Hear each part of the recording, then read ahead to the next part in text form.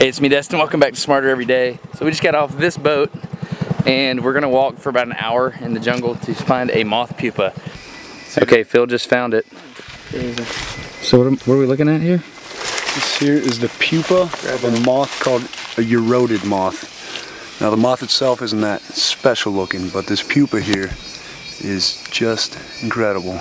So that's the chrysalis inside. Yep, so that's the actual pupa inside and then on the outside is the cocoon.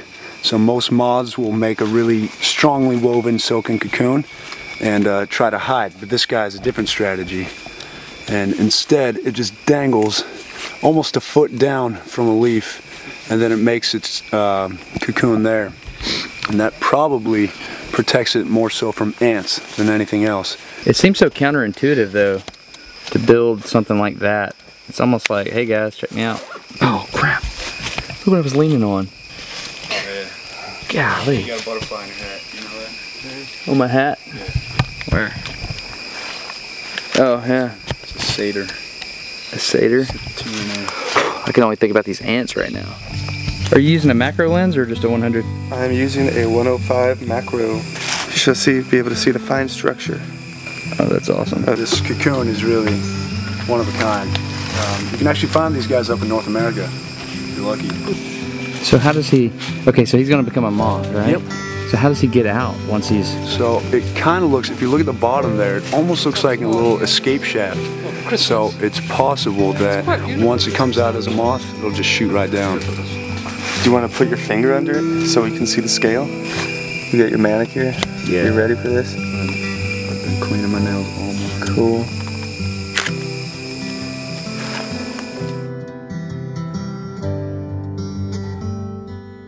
Okay, so please make this transition with me. So, as soon as I got back from the Amazon, I had to go to a wedding reception.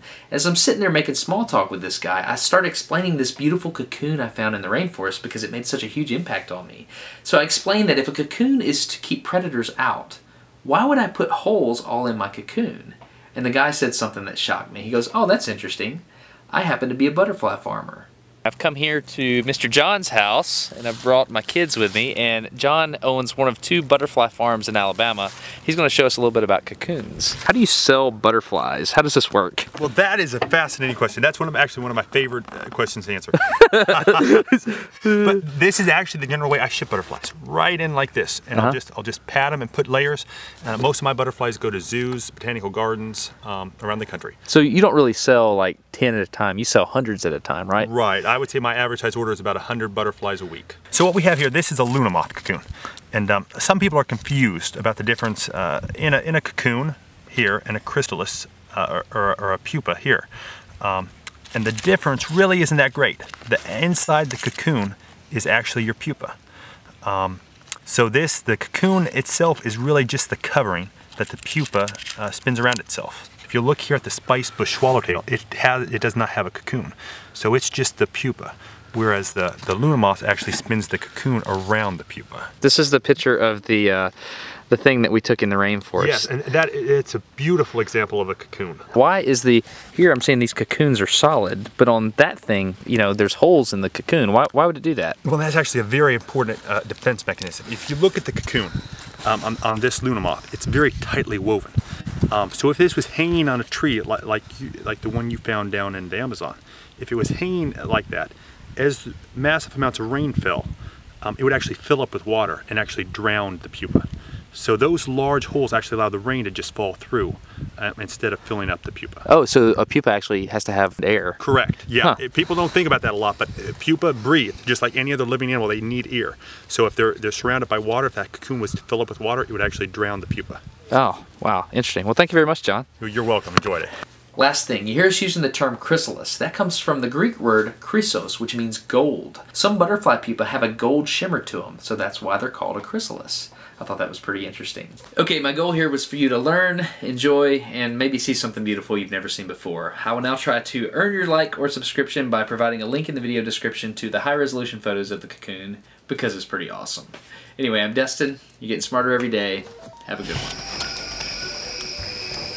Jerson, I gotta ask, what are you doing, man? Trying to see the details. Rather than get up working. Steps back and use a I binocular. I think Jerson needs some glasses. How long have you lived out here? Well, I am from here. I was born here. and I actually know this place very well. I have almost 10 years guiding in the area, but I never seen this before. Ever? To be honest, never. Are you just not a very good guide? Maybe. I like the birds more than the butterflies, but I always focus in details, new things. Yeah. Because I, I like these these things, but I never seen this, honestly. Awesome. So you've lived here your whole life and you've never seen this? No, really. And uh, if you want to check out John's stuff, I may or may not leave a link depending on what we decide. so, anyway, have a good one.